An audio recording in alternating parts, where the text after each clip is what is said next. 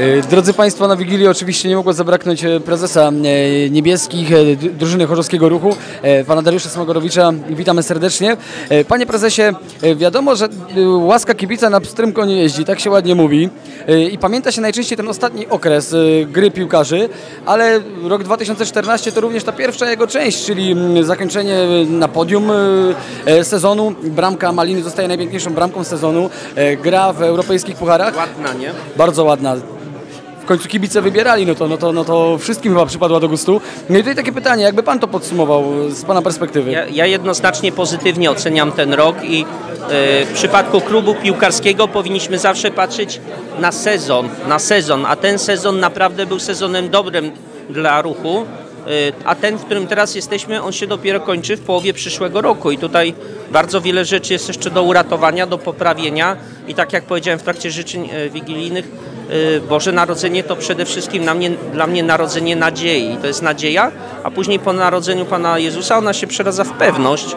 W związku z tym, jeżeli czer- czerpiemy z tego jakąś tam e, wiarę, no to możemy, może to nieść jakieś przesłanie. Ja jestem akurat przekonany, że ten przyszły rok będzie dobry, a ten był dobry.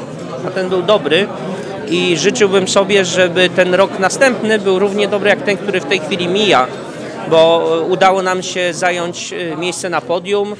Dobrze uważam, zarepre- zareprezentowaliśmy i pokazaliśmy się w pucharach. Także generalnie ja mam pozytywną ocenę tego roku. No rzeczywiście końcówka może nie jest już taka jak chcemy, e, ale jest dużo do poprawy i ja jestem przekonany, że uda nam się te cele takie osiągnąć i, i mimo wszystko ten sezon w czerwcu będziemy w dużo lepszych humorach No to, kończyć. no to może jeszcze szybkie pytanie na temat e, Wigilii, bo wiadomo, zupełnie inaczej wygląda Wigilia, kiedy się jest w czubie, w czubie tabeli, takie, takie jest nastawienie, a zupełnie inaczej, kiedy się jest na tym 15 miejscu. E, tak jak nawet jak ja przychodziłem na Wigilię, to zastanawiałem się, jaka będzie atmosfera. Okazuje się, że więcej jest tej nadziei i tej pozytywnej werwy, żeby, żeby coś zmienić w, w, run- w rundzie wiosennej, niż tego pesymizmu. Jak to wygląda z Pana perspektywy? Rze rzeczywiście nie widzę tutaj jakichś osób, które przyszły e, płakać i narzekać i, i opłakiwać, że jest bardzo źle. Rzeczywiście wszyscy składają sobie optymistyczne życzenia, ale tak jak mówię, to jest taka natura tych świąt. To są akurat święta niosące nadzieję. E, Natomiast jedno, co zauważyłem, no rzeczywiście jest nas mniej troszeczkę w tym roku, ale to też widać nie tylko tutaj na Wigilii, ale też, też widać na trybunach. No, część ludzi po prostu woli przychodzić i utożsamiać się ze zwycięzcami. Nas troszeczkę rzeczywiście jest mniej, ale za to są e, tutaj wśród nas rzeczywiście przyjaciele ruchu Chorzów i ci wszyscy e, na dobre i na złe, które z tym klubem się utożsamiają. No to na zakończenie szybkie pytanie jeszcze. Mówiliśmy o tym, o przeszłości, czyli o poprzednim sezonie. E, Mówiliśmy o dniu dzisiejszym o Wigilii. No to może jeszcze szybkie pytanie na temat przyszłości. Jak będzie wyglądał okres przygotowawczy teraz ze strony piłkarzy?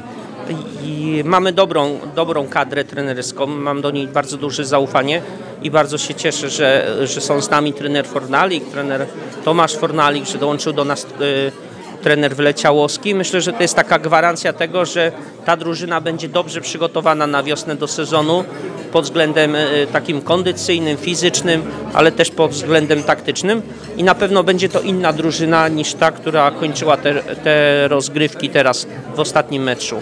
Także czekają nas e, duże zmiany i myślę, że to będą takie zmiany pozytywne. No to w takim razie czego można w imieniu kibiców e, i w, imie- w imieniu redakcji życzyć e, prezesowi e, na najbliższy rok i na najbliższe święta Bożego Narodzenia? Takich tradycyjnych rzeczy, zdrowia i wytrwałości. Tego właśnie w imieniu kibiców i redakcji życzymy. Dziękujemy serdecznie za wywiad. Zapraszam wszystkich do oglądania TV Niebiescy.